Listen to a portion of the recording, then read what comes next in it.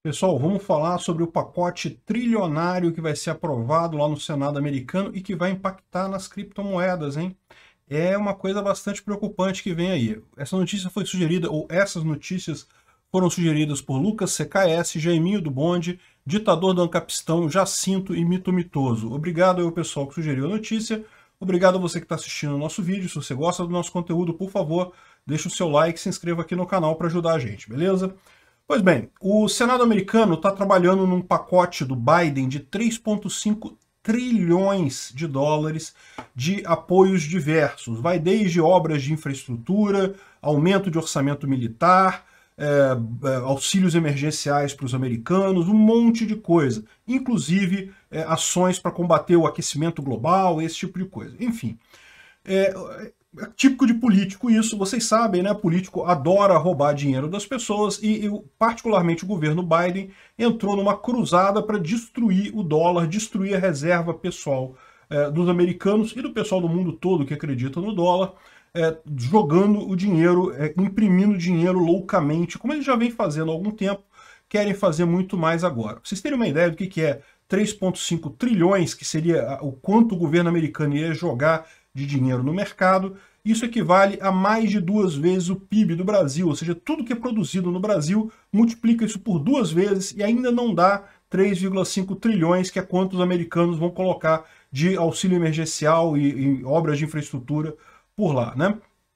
O problema disso vocês sabem qual que é. No final das contas, eles não têm como obter esse dinheiro por tributação. Vai acabar envolvendo muita impressão de dinheiro. E ao criar-se essa impressão de dinheiro, fatalmente isso vai levar à inflação e à desvalorização do dólar e das outras moedas por consequência. Então todos nós vamos acabar pagando essa brincadeira populista lá do Joe Biden. Mas o pior não é isso. O pior é que no seio desse grande pacotão aí, eles resolveram botar taxações para ricos e empresas e não sei o que lá, e esse tipo de coisa, né? Aquela velha ideia, não, vamos taxar os ricos, vamos taxar as empresas como se isso, no final das contas, não acabasse sendo a, a, população em geral que pague. Né?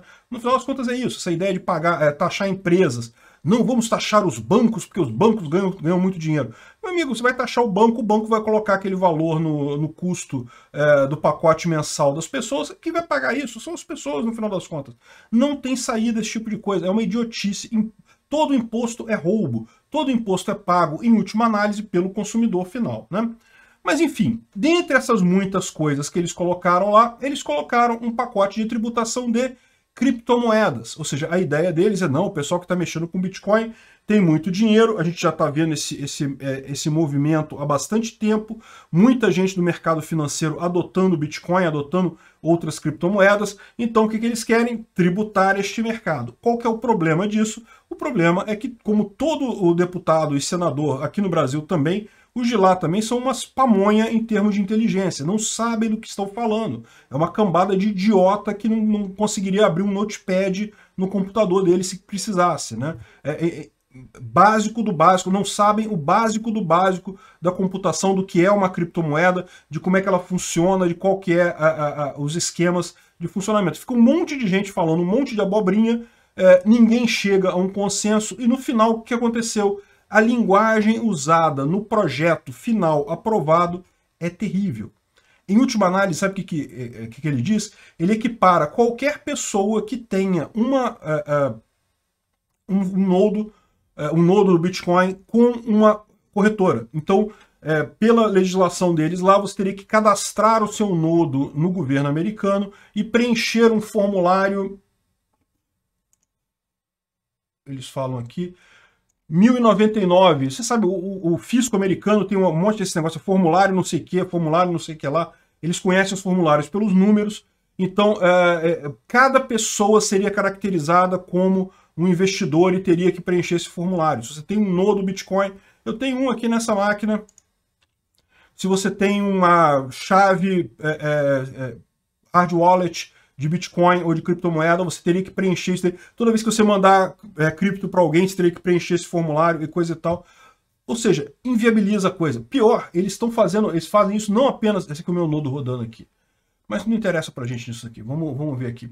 Ou seja, cada pessoa teria que ter isso. Você não teria, não, não poderia ter mais uma, uma carteira anônima Isso seria ilegal, você teria que registrar a sua carteira junto ao governo.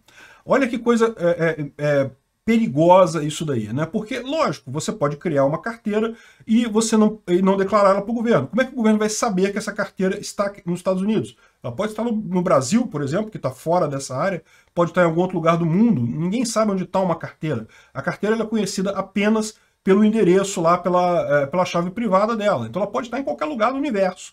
É, no final das contas, o governo não tem como verificar isso, mas ele cria essa obrigação para você. Pior, ele cria isso até para os desenvolvedores. Os desenvolvedores das moedas, das criptomoedas, têm que ser responsáveis por reportar transações para o governo americano. Então, ou seja, em última análise, força as equipes de desenvolvimento de criptomoedas a incluir mecanismos para reportar essas uh, transações para o governo americano. Olha que coisa. É aquele negócio, o pessoal está querendo fazer um travamento completo da criptomoeda. A gente sempre imaginou que isso fosse chegar, mas o que está acontecendo é que eles usaram um, tantos termos absurdos, tantas coisas impossíveis de serem implementadas na prática. Aí parece que agora eles colocaram, ah não, eles botaram a taxação, é, tiraram algumas coisas, colocaram outras, aqui, a Receita Federal Americana quer arrecadar 28 bilhões só com o imposto de criptomoedas, hein? eles botam lá já o valor que eles querem arrecadar, chega a ser curioso isso, né? E é, no final das contas, por que, que eles estão fazendo isso? Né? Porque eles sabem que como eles estão incluindo a taxação para outros eh, negócios, para eh, ações e coisa e tal, há uma tendência muito forte das pessoas migrarem para criptomoedas, e por isso que eles querem também taxar a criptomoeda. Mas aí cai naquele negócio, eles não sabem, eles não entendem como funciona a criptomoeda. Eles ficam discutindo entre eles. Eu imagino que eles tenham é, recursos técnicos, consultores técnicos para ajudar eles nisso. Mas lembra, é o consultor técnico do senador X, com um consultor técnico do senador Y, e um é favorável à criptomoeda, outro não é favorável, os dois discutindo na hora. O texto que sai no final das contas dessa discussão toda é uma lambança completa que ninguém entende e ninguém tem, em vários aspectos, não tem como ser obedecida, não tem lógica nenhuma. Você mataria a criptomoeda para obedecer aquela aquele, é, aquela legislação, né? Lógico, o pessoal que é, é, é, contra a criptomoeda vai falar, não, beleza, é isso mesmo que eles querem. Tem que acabar com esse negócio de criptomoeda porque faz mal para o meio ambiente. Tem um monte de gente que pensa exatamente assim, tem que acabar com isso daí. O problema que eles não veem é que justamente isso abre caminho para justamente as pessoas, as pessoas usarem mecanismos de ocultar essa coisa. Então o que está acontecendo no final das contas é exatamente isso. Estão fazendo uma, uma legislação extremamente restrita é, para quem tem criptomoedas, e no final das contas, o que, que vai acabar acontecendo? Eles vão acabar expulsando o pessoal da legalidade para ilegalidade, até porque é impossível você conseguir é, é, atender aos regulamenta às regulamentações. Até o Elon Musk entrou nisso daqui, ele estava conversando com um cara aqui, com o Brian Armstrong, falando que realmente agora é, é, é uma coisa terrível que estão fazendo, porque é desastrosa a postura do projeto de lei, que acaba decidindo quais inovações são permitidas e quais não são permitidas. Então, é, realmente cria uma série de situações totalmente sem controle, é, sem é, deixar ação, opção para essas pessoas. A única opção é ir para o mercado negro, é ir para o, o sair do foco do governo. E é isso que vai acontecer. Tanto que as criptomoedas estão aumentando de valor nesses últimos dias, muito em parte disso daí. Eles estão, as pessoas estão percebendo, estão querendo comprar criptomoedas porque querem se proteger desse pacote elas sabem que esse pacote vai ser terrível para investidores, para pessoas que têm é, é, empreendimentos e coisa e tal.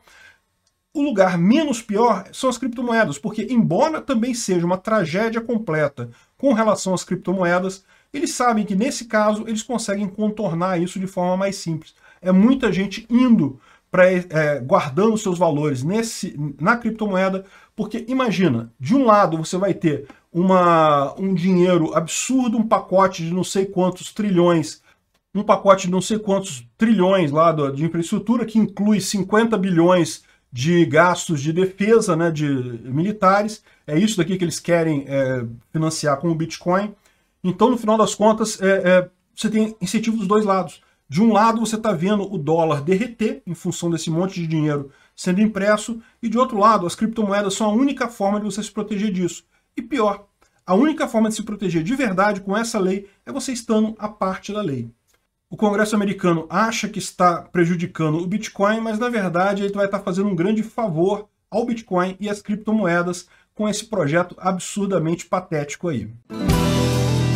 Chegou até aqui e gostou do conteúdo, clique no like e se inscreva no canal. Isso me ajuda e ajuda também a causa da liberdade, pois o YouTube vai passar a recomendar mais os meus vídeos e vídeos com temas libertários para você e para outras pessoas. Considere também clicar no sininho e pedir para ser notificado de novos vídeos. Caso queira sugerir uma notícia para falarmos aqui, é só ir no nosso site https ancap.su, clicar lá em sugerir uma pauta, colocar o link da notícia, pode acrescentar alguma informação se você quiser. Eu agradeço a todos que nos ajudam a fazer este programa.